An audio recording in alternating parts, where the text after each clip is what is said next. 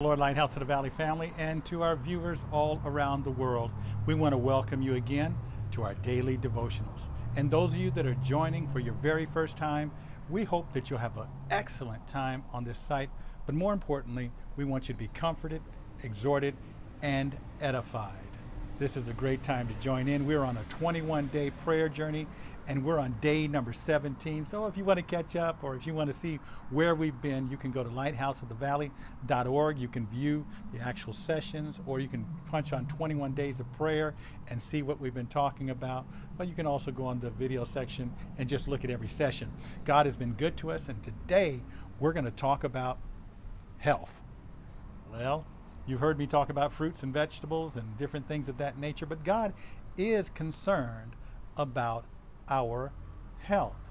Now in 1 Timothy chapter 4 verse 8, the scripture says, and Paul is talking to his son in the Lord who he wants to be strong. He says, For bodily exercise profiteth little. It, it, it does something, but godliness is profitable unto all things. So here's the deal we need to be healthy physically, we need our muscles and all of our, our, our systems to operate as they should, but we also need to be healthy spiritually.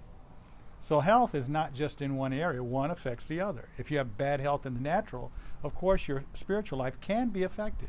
And if you have, definitely, if you have bad health in the spiritual, your natural body can be depleted as well. It, they go hand in hand. So God is concerned not only about our physical, but He's also concerned about our spiritual. In 3 John, here's what it says, and, and John is writing here a letter to the church, and in verse in, in John, 3 John chapter 1, verse 2, he said, Beloved, I wish above all things, above everything, that thou mayest prosper. And he says, be in good health. Be in good health. Notice, even as thy soul prospereth. So they're married together, they're connected somehow.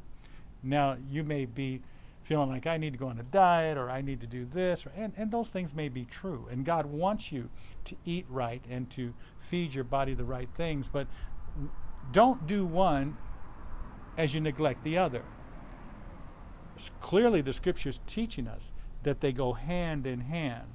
So you want to have good spiritual health as well as having good physical health. You might want to hire a trainer, or you might want to join a gym, or you might want to get some uh, tape series that will help you in the health department.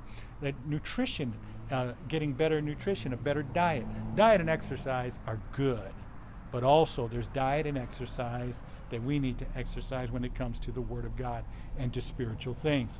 Notice what the apostle paul said to the church at corinth. Now they were spiritual spiritual giants. Now they were moving in the gifts of the spirit and they had all the spiritual gifts that you would want. But yet he said they're still drinking milk. They're still carnal. They're still feeding on things that babies would when it came to spiritual things. They may have been had the athletics going on and they may have been uh, doing the triathlons and, and throwing the javelins and doing all the things that they do and, and, and showing the world how even the Greeks do it.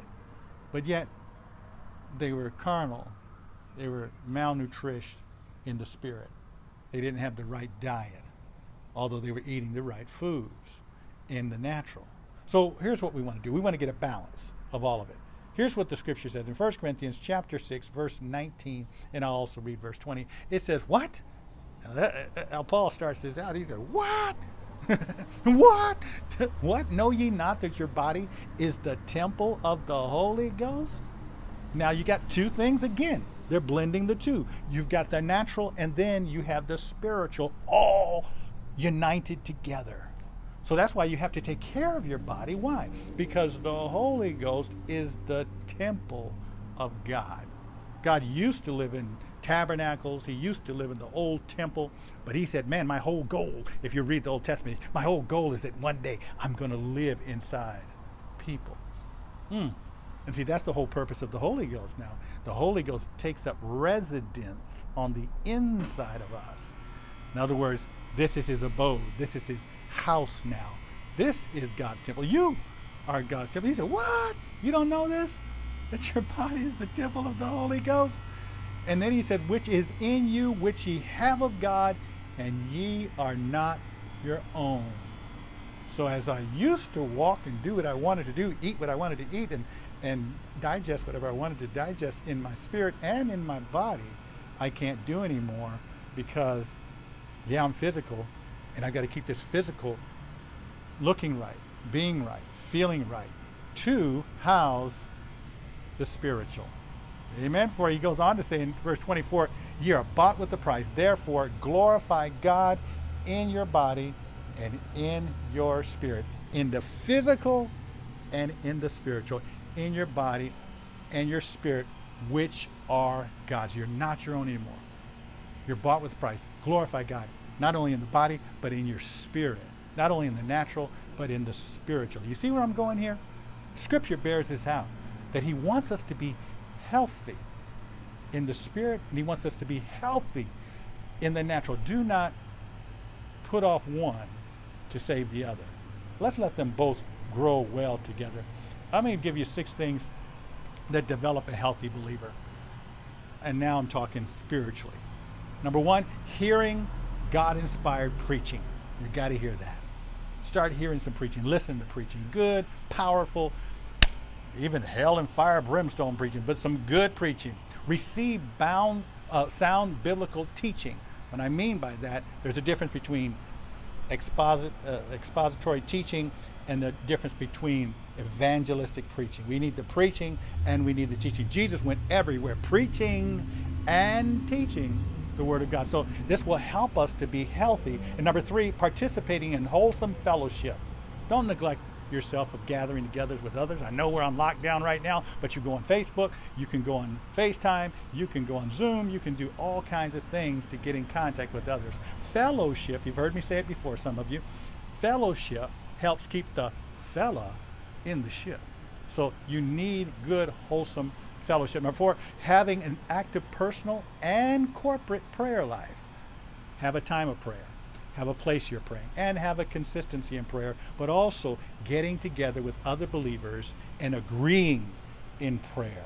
This will help develop a healthy believer. And number five, developing the gifts of the Spirit. In other words, God gives every single person that receives the baptism of the Holy Ghost, gives every single person a gift, a spiritual gift, one of the nine that you can actually operate in. You need to find out what that is and then start developing it and operating in it because it will help you become a healthy believer. And finally, being a faithful and cheerful giver. Okay, of your time, talent, and your finances. Being a faithful and cheerful. That's the, op- key, the operative word there is cheerful. For the Lord loveth a cheerful giver. Being faithful in everything that you do. God is going to bless you. He's going to make you healthy. He's going to make it that bodily exercise is profiting a little, but godliness is profitable unto all things. This is going to profit you a little bit, but this right here is going to profit everything. So, but let's, let's not neglect taking care of this physical, while at the same time understanding that the spiritual is definitely connected to the physical. Amen? Let's pray.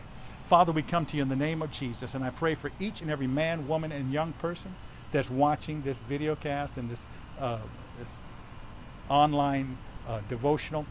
I pray that, Lord, you'll go into their hearts, that they'll realize that their body, soul, and spirit, and that all three of those components of who they are must be ministered to. Let them take care of the temple of the Holy Ghost. Let them take care of the spiritual man on the inside of them. Allow them to grow strong and to do exploits. You said for them not to be drunk in wine as in excess, but be filled with the Spirit. Rather, be overflowing with this Holy Spirit. I'm praying, God, that men and women will push away from natural things and draw close to spiritual things, while at the same time, as they get the spiritual things, they will take care of the natural things in the right way. I'm asking you to bless them and anoint them for the days ahead of them. Make them healthy and let their souls prosper, even as their spirit is prospering. In Jesus' name. And for those of you that are watching for the very first time, I believe that God has sent me to draw you and to make you a little sensitive towards Him and hungry for Him. What does He want you to do? He wants you to embrace Jesus Christ as your Lord and Savior. What does that mean, preacher? That means that you believe that he died, came to this earth, and he died on a cross just for you, and that he was buried in a grave, a tomb, just for you, and that he rose on the third day from the dead just for you, conquering death and the grave. And he wants you to believe that and embrace that and say to him, I'm a sinner and I need a Savior, and I believe Jesus Christ is that Savior. I am wretched and wrong, and I, I can't go to heaven without Him, and I want to embrace Jesus Christ as my Lord and Savior. Forgive me, Lord, of my sin. When you ask God to forgive you of a sin that you didn't even have anything to do with, it caused you to do all kinds of other things, but it was that original sin of Adam that passed upon all men, for all have sinned and come short of the glory of God. And when you ask God to forgive you of that sin, He forgives you right now. And if He's forgiven you and you're that person I'm talking to, at this moment, you need to find a friend, a relative, a neighbor. Don't hesitate.